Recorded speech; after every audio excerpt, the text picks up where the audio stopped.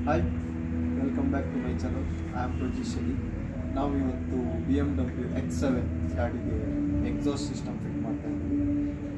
ಹಳೆ ಎಕ್ಸಾಸ್ಟ್ ಏನಾದರೂ ಡ್ಯಾಮೇಜ್ ಆದರೆ ಹೊಸ ಎಕ್ಸಾಸ್ಟ್ ಯಾವ ಥರ ಫಿಟ್ ಮಾಡಬೇಕು ಅಂತ ಒರಿಜಿನಲ್ ಪಾರ್ಟ್ಸಲ್ಲಿ ತೋರಿಸ್ತೀನಿ ಕಂಪ್ಲೀಟ್ ವಿಡಿಯೋ ಸರಿ